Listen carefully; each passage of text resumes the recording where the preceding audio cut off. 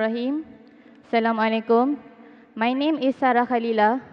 I have one question from my non-Muslim friend. She said that Jesus had claimed himself to be God.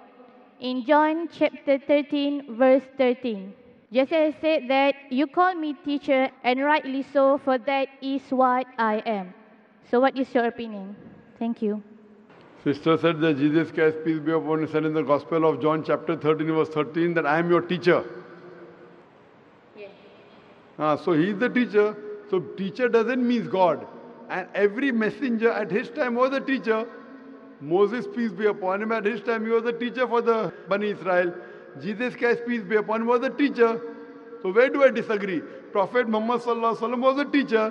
What I said, point out a single unequivocal statement in the Bible where Jesus Christ, peace be upon him, himself says that I am God or why he says worship me. As far as he being a teacher, I agree with it. Jesus Christ, peace be upon him, was a teacher. All the messengers of God, they were teachers and they taught and they gave the message to their followers. In this way, I have no objection at all. What I said that Jesus Christ, peace be upon, never claimed divinity. He never said he was God or never did he say worship me. Hope.